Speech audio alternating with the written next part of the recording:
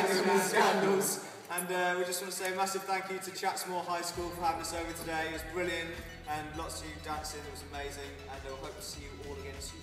You can check us out on Twitter here. And you can check us out on Facebook, just now. And uh, our website, uh.